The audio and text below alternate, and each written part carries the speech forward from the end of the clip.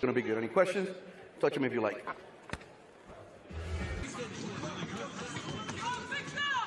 to 10 rounds. It's been to eight. October of 2021. There's a ah! big. Come to me. Come to me. You get? You gonna? You fight? Kiladze has. Now Faust is going to look to unload. A stiff jab right away. A big overhand. And finish this one off quickly.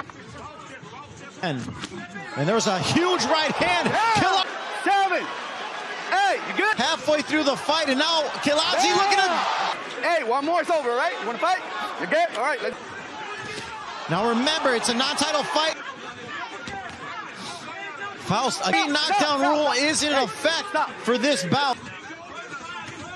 Both men just throw. What a start to this card already hey, from Faust. And now Kiladze. Talk about highlights. This was the opening hook led to the knockdown, and there you see uh, both men are cut. Both men have been knocked down as we enter round. Ready, going for the knockout shot, and there's a. I told you, ladies and gentlemen, do not blink. Kiladze back. Those were the punches, and there was a huge.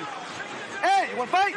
And now Blood was a left hook or a straight right. And now Kiladze, he is very aggressive. He is not afraid to stand. Referee Burgos warning him he does not want to see any. There's a left hook. Both men connected. And now Kiladze seemed to have gotten ah! rocked. Very upset. You can see he's extremely upset. Nonetheless, I'm in agreement with referee Samuel Burgos.